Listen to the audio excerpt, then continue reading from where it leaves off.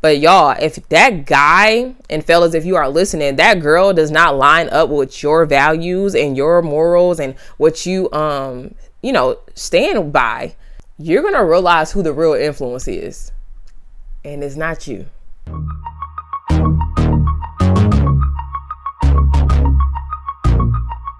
What's up, y'all? Welcome back for another episode of Succeeding in Singleness. And yeah, my name is Janae. I am your host of this podcast.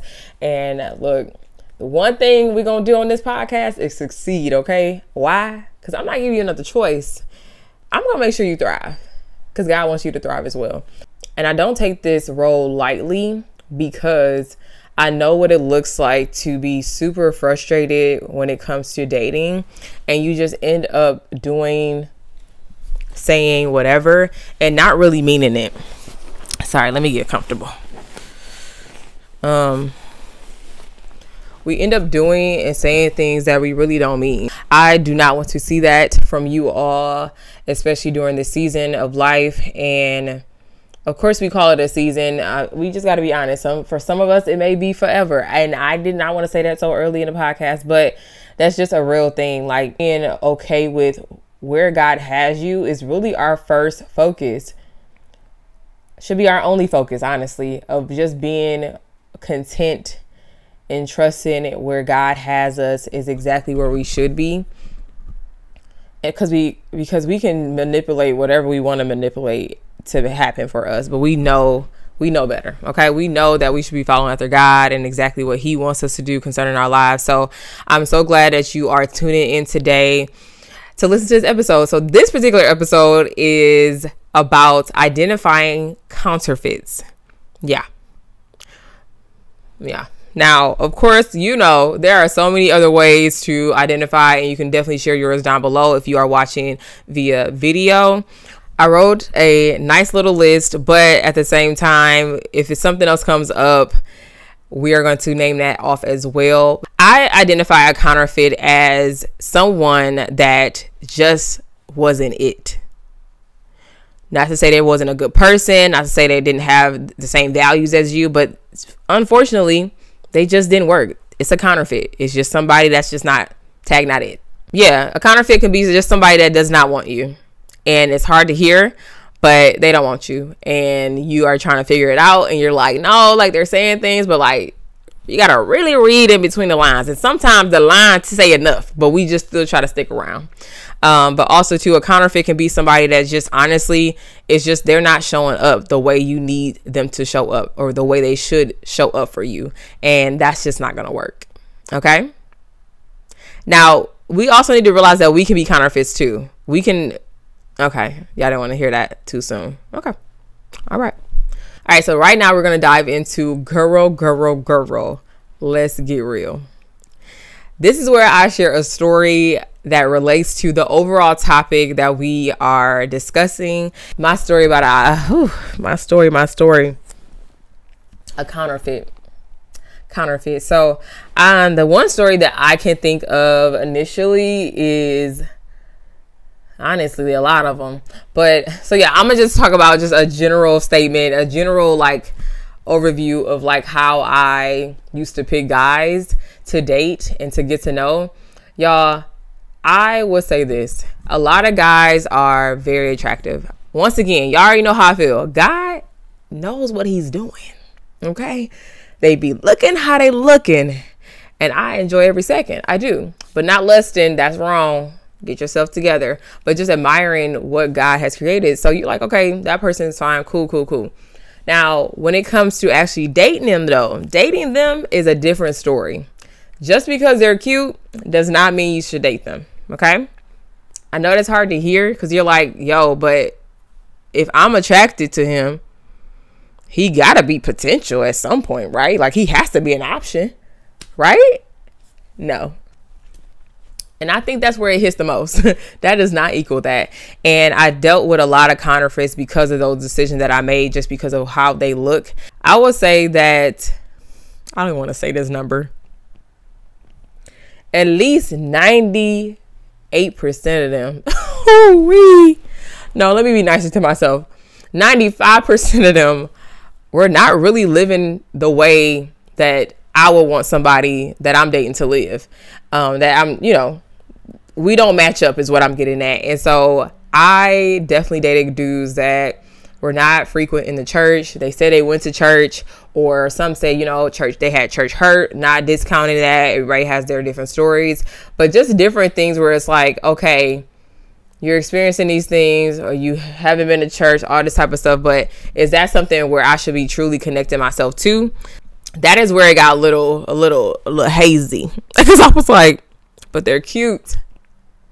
Lord, like my me, I can be in the example. This is when I was younger, not when I got older. But I was like, I can be an example and he can eventually change his life. Well, uh oh. That's not the mindset to have he should come to the Lord. He should come to Jesus on his own because of his his wants and desires not because you manipulated it in some kind of way for him to start to walk with Christ. Now this obviously isn't a bad thing if they come to Christ, but just being mindful of like what are we doing to get the attention of somebody? You did some things to make it make sense and it actually ended up working.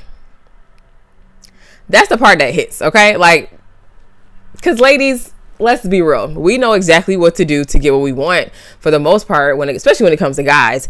And I um I realized that I was I had that mindset at the like when I was a little bit younger like no if I just like hang out with him he's going to see like you know God is real um church is not that bad like church is not bad all these different things to convince myself to stay with this person and what happens with that is that you also are showing God that you don't truly trust that he can bring you the right mate, the right spouse. And when I realized that, I I had to get myself together. I was like, okay, wait. Who am I really putting my trust in? Who am I really relying on when it comes to dating? And it should be the Lord.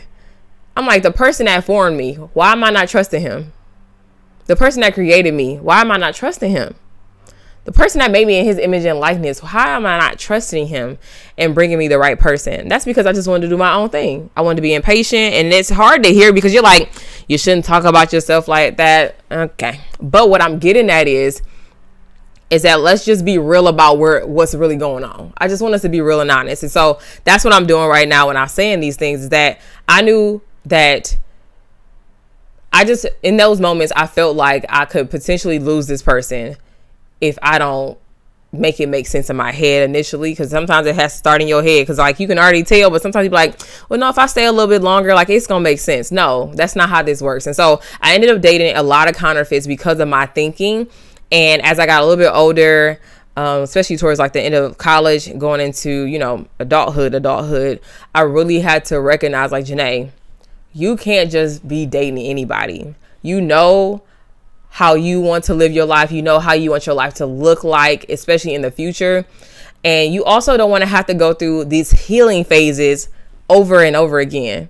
Y'all know those moments where you finally, like, you meet a person, but you know it's not, mm, mm, mm, mm I don't know. And then next thing you know, now you, now you go into the Lord asking for forgiveness asking like lord help me heal through this. Like lord mend this mend my heart. You came for the broken hearted like help me in this. All these type of things when really we knew the answer way before we decided to go further with this person. And i have a lot of different healing phases that i went through and i'm like bruh. So after the one i had not too too long ago like a few years ago i told myself don't you ever don't you ever put yourself in that position again.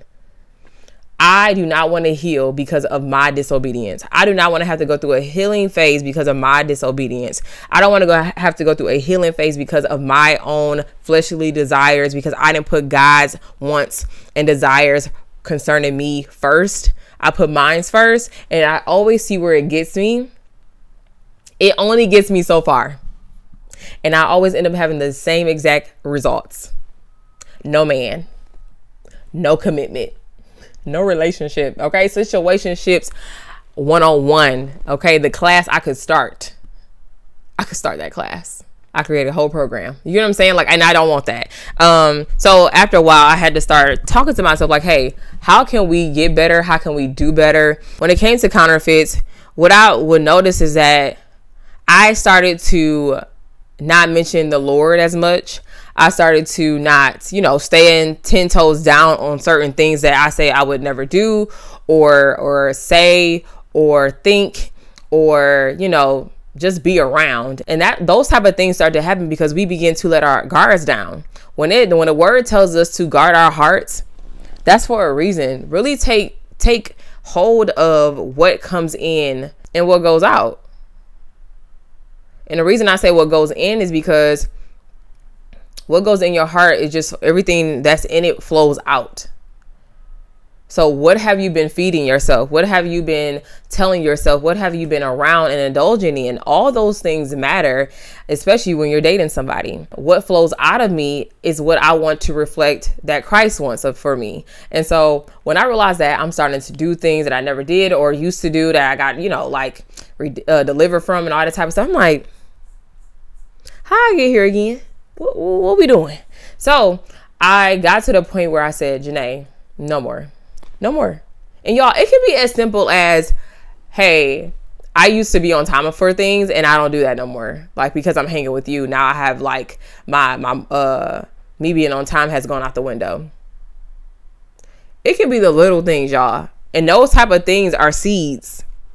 And then you start looking up and saying like I can't even I don't even know who I am anymore.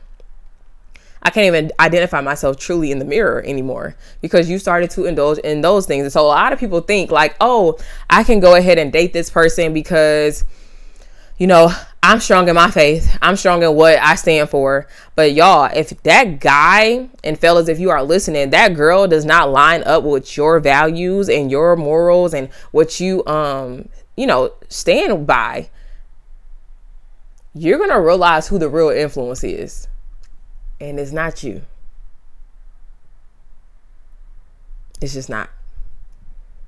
Because we are not to just hang around, be around just anyone, especially as believers. We are to, you know, be a witness to others, but to actually try to do close relationship with, especially intimate, you know, like, you know, uh, romantic relationships with people and they're not lined up with the word of God unfortunately, we begin to be influenced by them more than they are influenced by us. I'm letting you know right now, though, that is something to not play with. A lot of people are like, well, no, like I can, or no, I, I know somebody that, I don't know.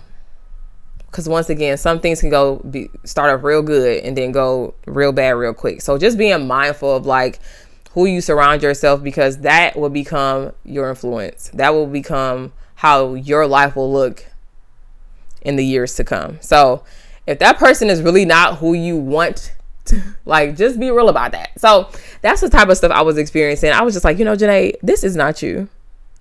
So be for real and let them go. Okay.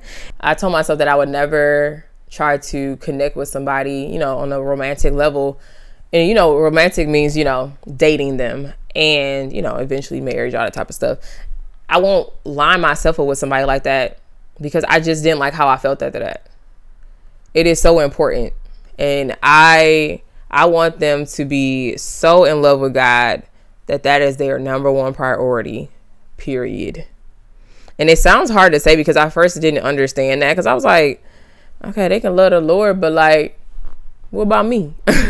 but you want somebody that's wholeheartedly um, having a, a strong relationship with God because that spills over to you and how they treat you and how they show up for you and how they love you and I I desire to have that, but I also have the desire to give that back to my person too.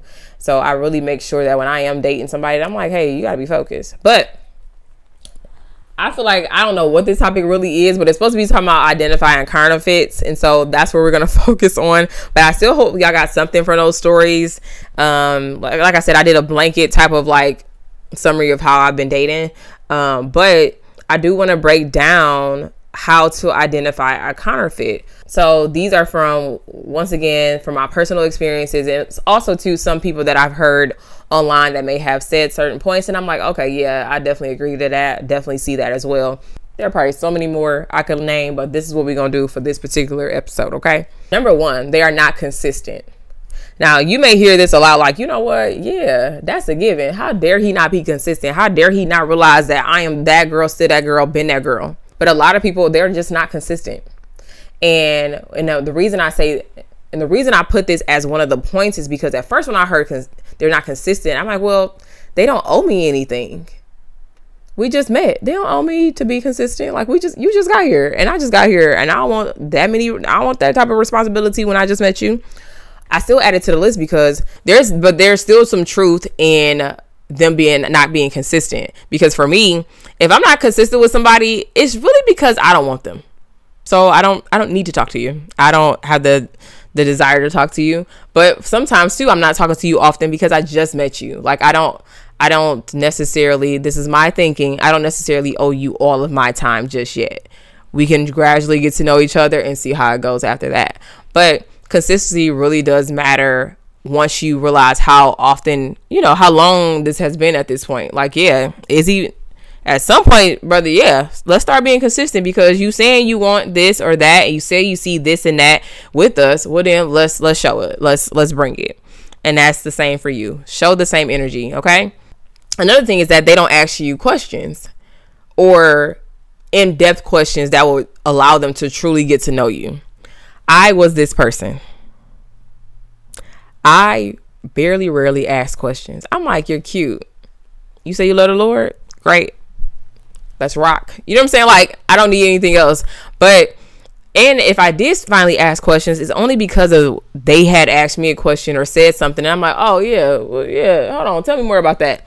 But not intentionally saying like, hey, these are some of the questions that I want to get to know about this person so that I can see if it's something for me to move forward with or is this just a friend or is this something i need to end? So really identifying hey where does this person really land in my life? I would definitely say that you have to ask questions. You if you have to write down something go ahead and do that so that you are pulling these questions out here and there. Or if you hear what they're saying pull from that even more don't let it just be a statement and keep it moving. No, ask them more about what they just said. I would definitely say that I was terrible at that. Another one I would say too is that their morals on their morals are not the same. We talked about that earlier.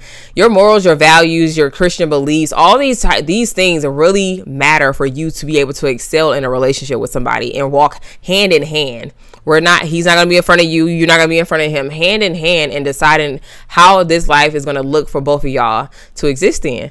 And if these things are not lined up, because what happens is, from my, me hearing, especially from my uh, married people, is like you can have people can eventually have arguments and disagreements about certain things that they thought they discussed but realized they never really discussed or somebody decided to brush it under the rug and you're like no that actually does really matter to me.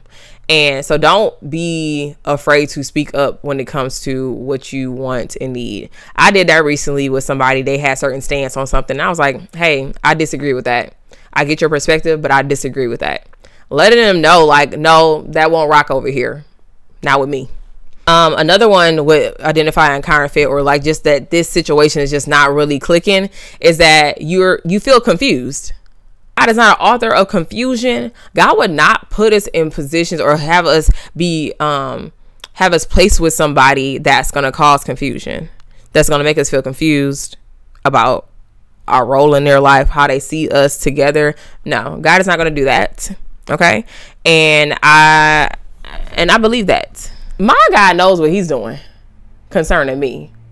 If you don't know what you're doing concerning me, it's not gonna rock. It's not gonna rock. No, we should never get to a place where we're confused. Now, there's a difference. With, now, some of y'all, we a little antsy. Take your time, sit back, relax, relax, relate, release type of energy, right? Because we don't want to mess up something because because we're anxious about something. We're anxious about this relationship. Um, that's a different thing. But when we're talking about you're just confused about if he really likes you, or you're confused about okay, do you really want to hang with me? Or you're confused about okay, do you really love God, or is this just like a phase? Like you just trying to show up because I said I love the Lord, and you just think I'm attractive. Those are the type of things where I mean confused. Like you need to be super sure about certain things, which is why it goes back to asking questions. And look, most of us have our answers. We just don't want to accept the answers they've given us. But I feel it. I feel it. Another thing I want to say is that they're not a man of their word. And for fellas, like she doesn't she doesn't keep what she say. Like she you just saying stuff, but you're not really following through. And that type of stuff matters when you're dealing with somebody. Like we don't want people that's just Like, be for real. Come on now. Those are the things that came to mind when I came to um, really trying to discover or like, you know, identify a counterfeit. Um, once again, my number one thing is that they don't love the Lord. We've already talked about that earlier, which is why I didn't really hone in for it during the points. But like, they their relationship with God matters the most. How they show up and communicate with God really like i said it spills over to how they do the rest of their work and for me if they do actually do the rest of their work and their relationships better than they have a relationship with god that is something to, to pay attention to and that's the same thing with us we should not get to a point where because we want a relationship so bad that we end up putting them before God. We end up cherishing them, stewarding over them, talking to them, making time for them more than we make time for our Lord. Okay? Spend time with Jesus. Spend time with Jesus, okay? Spend time with him. Because guess what? This helps us identify a counterfeit. When you spend time with the Lord, he is able to really speak to you even clearer concerning who you are dating. You can be, Lord, what's up with this one? He fine, but what's up with him? And the Lord will, Holy Spirit will tell you with the quickness, okay? what this person is all about. And we have to do our part in sitting and not moving too fast, but also not moving. So not my, we have to do our part with not moving too fast with relationships and getting into these relationships and really listening to Holy Spirit. But we also, once we get our answer of like, no, that's not it, to not move so slow with removing ourselves from that uh situationship, that relationship, or that you know that person. All that matters, okay? when it comes to dating. I did not use as many I did not use many scriptures in this. I'll put some on the screen that I did kind of quote, but get in the word concerning how God wants you to live this life and you will know exactly how you should move and groove. The Bible has been set up properly for us to really know how to live this life. So yeah, in Matthew 18 verses 19 it says that if two of you shall agree on earth as touching anything that they shall ask, it shall be done for them of the Father of my Father which is in heaven. So yeah, you want somebody that you can agree with. You want somebody that you can be on one accord with. That definitely matters.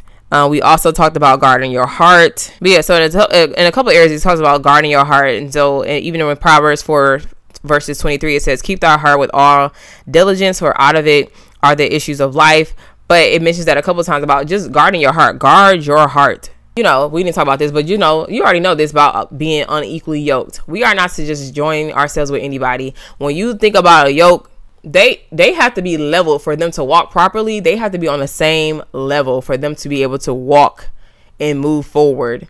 If not, they are stuck or they're going in a circle. All these type of things going the wrong way. So yeah, I really hope you got something from this episode these type of topics are needed and necessary because we want a relationship. Everybody don't want one, but you know what I'm saying. Like I want one, so I want to make sure that I'm doing this right. Um, but also being able to live this out with you all. Um, and really have a community of people who are just like, hey, girl, yeah, girl, I get what you mean. Like, mm-hmm, I have that same story. So leave it down below if you are watching via video and and share this video with someone that you think would be super helpful for them to hear but also too if you are listening on the podcast share this link with someone as well all right so i'll talk to y'all in the next episode peace